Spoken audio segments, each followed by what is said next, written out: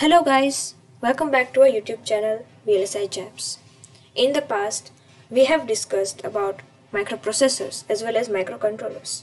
We have made two separate videos for the same. If you haven't checked those videos out, please check our description box. We have put the links there. So first, refer to those videos and now we will talk about the difference between microprocessor and microcontroller as a part of our final conclusion in the series of microprocessor and controller. So, we will take a quick look on the characteristics of each and every processor and controller and check what is the difference between these two entities at the characteristic point of view. Okay, so let's get started. Now let's see the difference from the design or architectural point of view. In microprocessor, we know that all the components like RAM, ROM, input-output device and other modules are connected externally to the microprocessor chip. So the system with microprocessor in it becomes quite heavy and bulky. While in case of microcontroller, all these external peripherals are embedded within the chip. So we can also refer to a microcontroller as a system on chip. And due to this, the size of the system with microcontroller in it is quite reduced or can say very simple or easy design architecture. So due to this hardware integration difference, we have two modules are getting affected. The one is power and the other one is cost. In microprocessor, the power consumption is quite high because the external peripherals are likely to consume a lot of power. While in case of microcontroller, all the external peripherals are embedded within the chip so they are supposed to consume less amount of power. And also this microcontroller based system can run on a constant supply like battery because they consume less power and this system are likely to sustain on a constant supply like battery. While the same is not true with the microprocessor because because it consumes very huge amount of power we need to give it a constant continuous power supply from the outside if we talk about the costing, then due to heavy and bulky circuit of microprocessor, the cost also becomes huge because the external peripherals are supposed to be connected with the chip and the whole system becomes quite costly.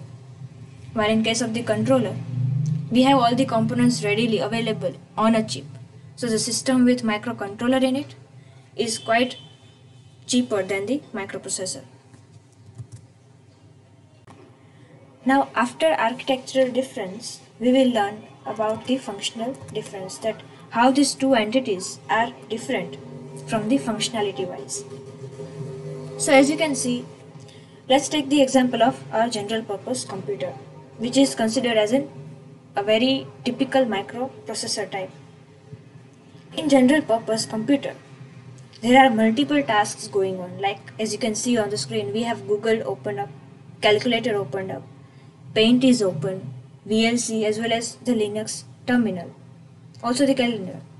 So based on the user's input, that particular microprocessor is supposed to execute that particular command and give the output accordingly. So the main task of this uh, microprocessor is to give the output as soon as the user commands.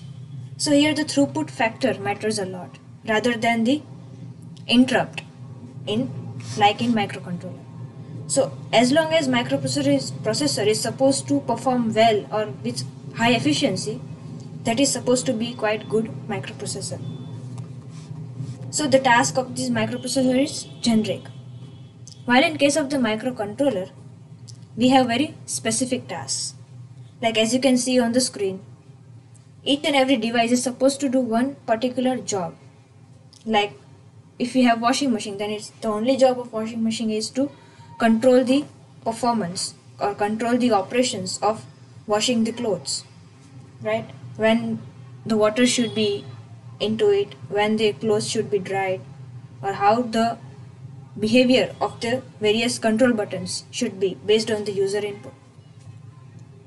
Also you take the example of camera. Like the only job of the camera is to click the pictures in the right proper fashion based on what user configures it. So microcontroller tasks are more supposed to be real time or task specific because as and when the real time interrupt is triggered they are interrupted externally and based on that they have to choose that which task I need to prioritize first based on the user's command given. So here the interrupt priority matters a lot rather than the throughput. So these two factors are main differentiating factor between microprocessor and microcontroller which are throughput and interrupt latency. In microprocessor we are more inclined to improve the performance or throughput while in microcontroller we are more inclined to reduce the latency of the interrupt to get the better performance because these microcontrollers are very time specific device time sensitive device they are supposed to take decisions based on the right time. Otherwise the there is no use case of that particular task specific systems. Now as we said microprocessors are more inclined to throughput or efficiency. Then efficiency can only be increased with higher number of clock speed or clock cycle.